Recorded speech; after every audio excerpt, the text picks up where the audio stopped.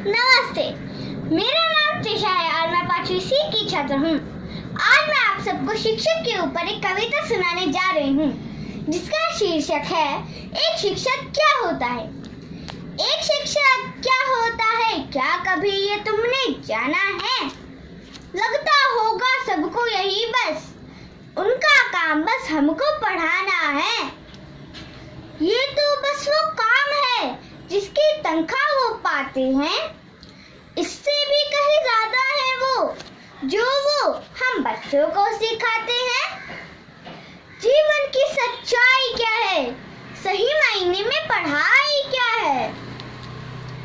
किताबों से बाहर की दुनिया में गलत क्या है और सही क्या है?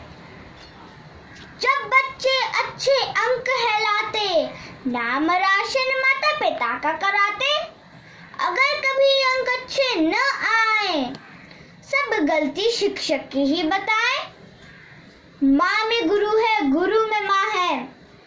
दोनों में ही भरपूर ज्ञान समा है।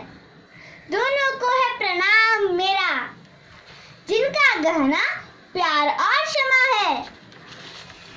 हम सब भगवान को ही पूजते हैं, पर देते नहीं गुरु को सम्मान। गुरु दिखाए रास्ता भगवान से मिलने का। भगवान से भी ऊपर होता है गुरु का स्थान। Happy teachers day to all my respected teachers thank you